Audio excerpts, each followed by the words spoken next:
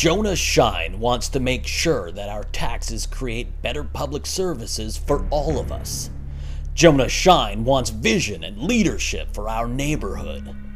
Well, Jonah, I want more cheese on my nachos. Jonah Schein hates nachos.